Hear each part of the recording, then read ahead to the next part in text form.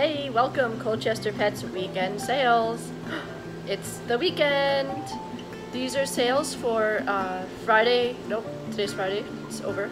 Uh, Saturday and Sunday, November 3rd and 4th. So enjoy these awesome sales and come see us this weekend.